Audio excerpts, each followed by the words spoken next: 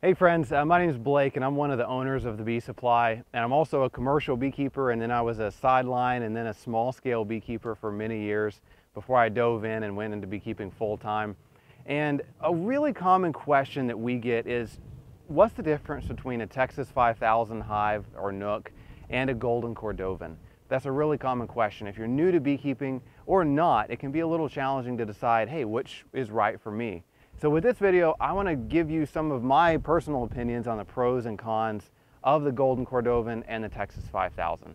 Now this hive right here is a Golden Cordovan, and then this one you see over here is a Texas 5000.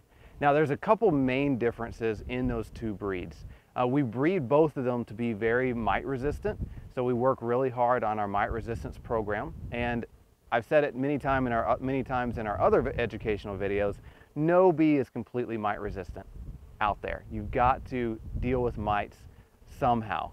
Uh, but ours are as mite resistant as they are as is available commercially. So if you're just going to go out and buy bees somewhere from a major retailer or buy a queen, we believe ours will stack up perfectly well against any of those. Um, but we never recommend that you buy bees and just ignore varroa mites. At the very least, you need to test. But we have integrated a lot of different VSH traits um, Pol-line traits, uh, some Minnesota hygienic, all into the Golden Cordovan and the Texas 5000s.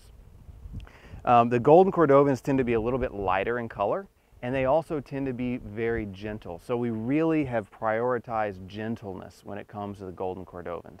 Um, and so if you have hives in a backyard, uh, an apartment high-rise building, um, if you're you know have kids and pets all around your bees all the time, if it's in a show and tell bee yard like this one is for us here at the Bee Supply, um, Golden Cordovan is a great option. If your bees are in a little bit more rural area um, and you just really want a really tough, hardy, durable bee, that's what we've really focused on with the Texas 5000s. It's just making a really, really tough, strong bee. The Texas 5000s actually get their name because um, we pick the best hives out of 5,000 hives to find the very, very best, most durable, toughest bees to breed from.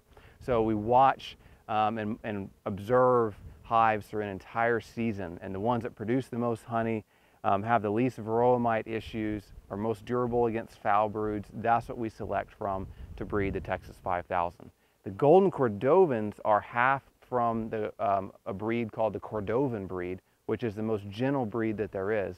Um, so 50% of the genetics are from that very, very gentle Cordovan breed. And the other 50% are actually our Texas 5000s. So it's kind of the blend of both worlds, the best of both worlds, um, blended into one. One focused on gentleness, the other focused on productivity and durability.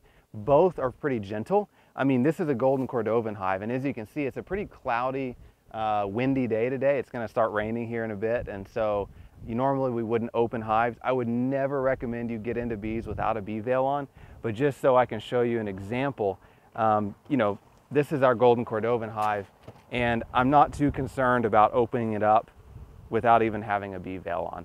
Again, I wouldn't recommend that for you guys, um, uh, but they are a very, very gentle breed. As you can see, I mean, I open the lid, I can wave my hand on top of them. They're not even really coming out of the hive. Um, now again, don't do this at home, but uh, this is just an illustration of how gentle they are. I've got, you know, no gloves on. I'm opening up the hive, pulling the frame out. You know, you can see they're, they're very, very gentle. This is actually a frame completely full of honey. And the bees are pretty light in color. So if I had a different hive here to compare it to, you'd see that these bees are pretty, pretty light in color compared to many other bees. So these are a great bee. Again, if gentleness is what you're going for, this is a great option for you. The Texas 5000s are a bit darker in color. Um, and we'll see if I can get away with this. But to illustrate that they aren't particularly mean either, um,